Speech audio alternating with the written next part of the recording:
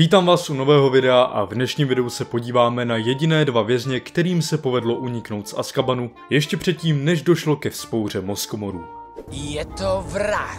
Byl za to taky zavřený v Azkabánu. Jak to, že utekl? No to je právě ta otázka. Je první, komu se to povedlo. Azkaban je pevnost na ostrově uprostřed Severního moře, která od roku 1718 slouží kouzelnické komunitě Velké Británie jako vězení pro odsouzené zločince. Toto vězení si získalo strašlivou pověst, neboť bylo střeženo Moskomory. Moskomorové patří k nejohavnějším tvorům, jací kdy kráčeli po povrchu země.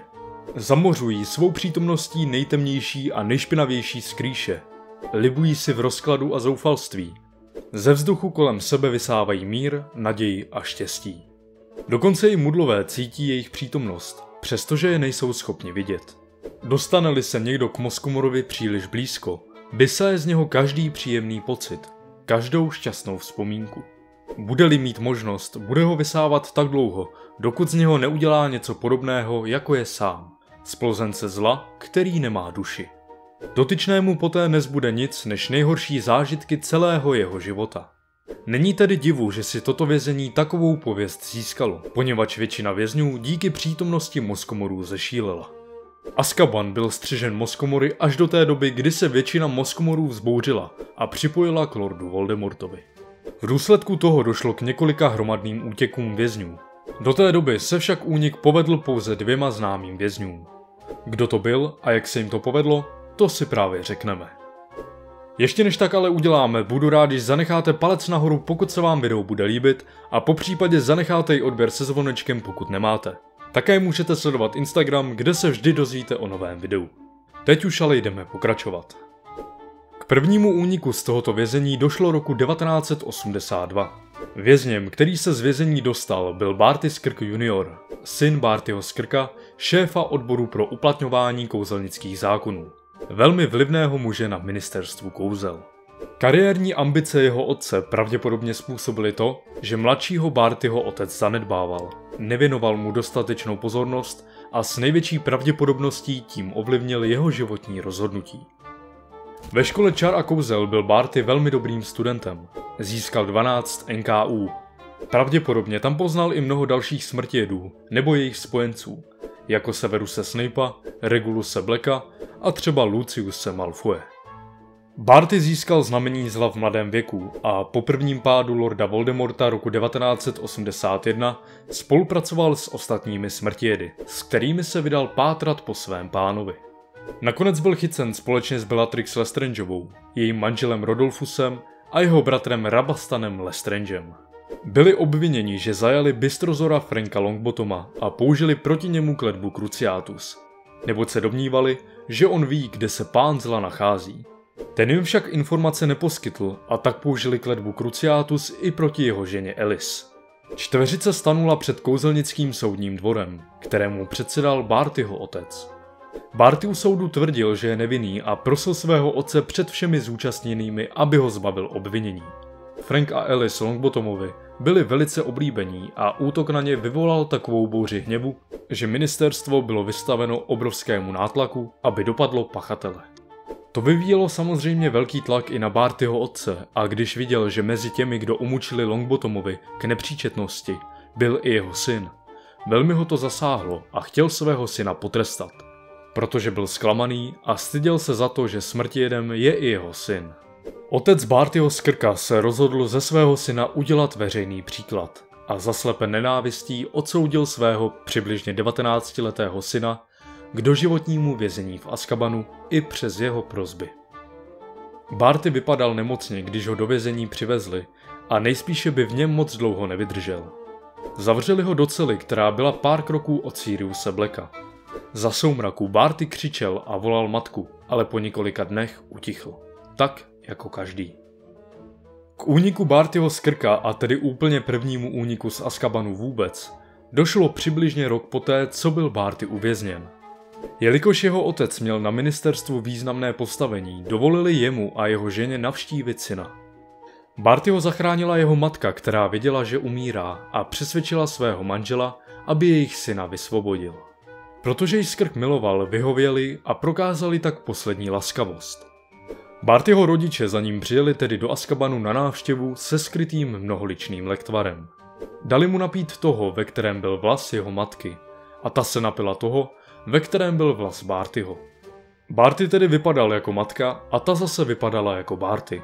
Plán vyšel, protože Moskomorové jsou slepí a jediné, co vnímali, bylo to, že do Askabanu vstoupil jeden zdravý člověk a jeden umírající a ti pak také odešli. Bartyho matka krátce na to v Askabanu zemřela. Do poslední chvíle dbala na to, aby pila mnoholičný lektvar, takže když zemřela, byla pohřbena pod jménem svého syna. Protože tak vypadala a všichni věřili, že to Barty opravdu je. Barty Skrk starší své manželce vystrojil tichý pohřeb s vyloučením veřejnosti. Svého syna ukrýval ve svém domě, kde se o něho starala jejich domácí skřítka Vinky. Barty junior se nakonec uzdravil.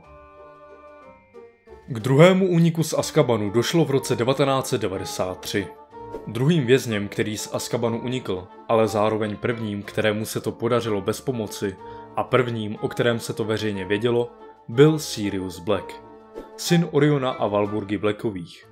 Blackovi byli pozoruhodná čistokrevná rodina, která jako několik dalších trpěla posedlostí čistou krví a byla všemi deseti pro očištění kouzelnické rasy, pro likvidaci všech kouzelníků z mudovských rodin a pro nastolení vlády čisté krve.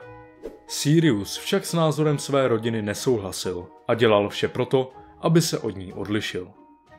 Když nastoupil do Bradavic, nebyl zařazen jako většina rodiny do Zmiozelu, ale do Nebelvíru. Ve škole se stal nejlepším přítelem Jamese Pottera, Remuse Lupina a Petra Pettigrua. Tato čtveřice si začala říkat Pobertové a později se tři z nich naučili, jak se stát zvěromágy, když se dozvěděli, že je Remus vlkodlakem. Sirius se naučil proměňovat ve velkého černého psa, což je důležitým bodem v jeho útěku z Askabanu.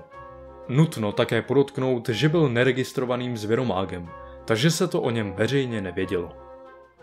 Kouzelnický svět terorizoval Voldemort se svými smrtědy a dalšími spojenci, když se Sirius přidal do opoziční organizace Fénixův řád. V roce 1981 došlo k pronesení věžby, která se týkala dítěte narozeného na konci července, které bude mít moc porazit pána všeho zla. Jelikož ve věžbě stálo, že se dítě narodí těm, kteří se Voldemortovi třikrát postavili, bylo jasné, že v ohrožení jsou dvě rodiny – Potrovi a Longbottomovi. Brumbál přišel s nápadem, jak Potrovi ukrýt a to za pomocí velmi obtížného kouzla – Fideliova zaklínadla. Díky kterému by se nikdo k Potrovým nemohl dostat, kdyby mu to takzvaný strážce tajemství neřekl. Tím strážcem chtěli Potrovi udělat kmotra jejich syna Harryho Siriuse. Ten je ale přesvědčil, aby si místo něho vybrali Petra. Považoval to za dokonalý plán, neboť si byl jistý, že Voldemort půjde po něm, že by ho ani ve snu nenapadlo, že by mohli použít slabého a netalentovaného kouzelníka, jakým Peter byl.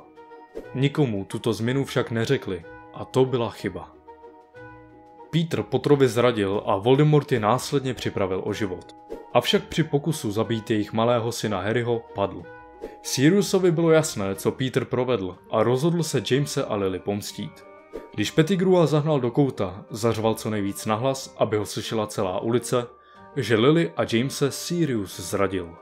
A pak, než ho Sirius stačil zaklít, vyhodil ulici do vzduchu hůlkou, kterou měl schovanou za zády a zabil každého v okruhu 20 stop. Těsně předtím, než se proměnil v krysu a utekl s ostatními krysami do kanálu, uřízl si prst, který později sloužil jako důkaz proti Siriusovi. Sirius cítil vinu za smrt Potrových, protože je přesvědčil, aby si místo něho vybrali Petra.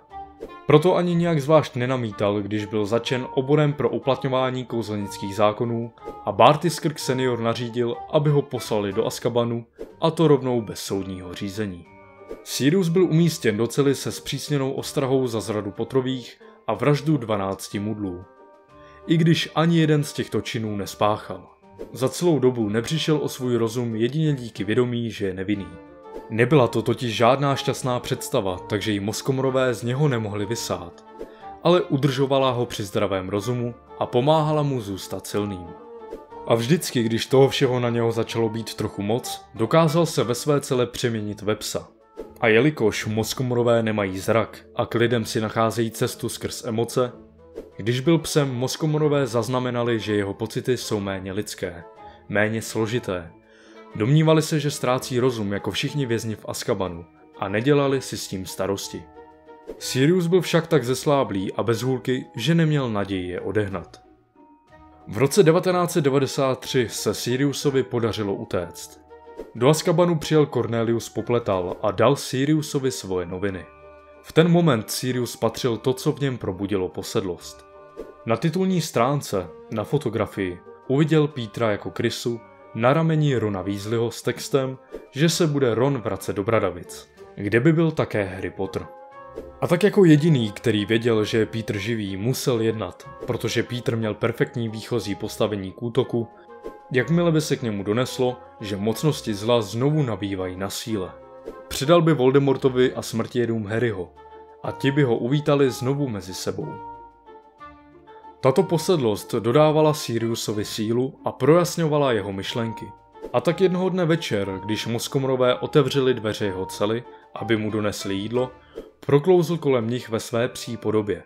Jelikož je pro Moskomory daleko složitější vycítit zvířecí emoce, zmátlo je to.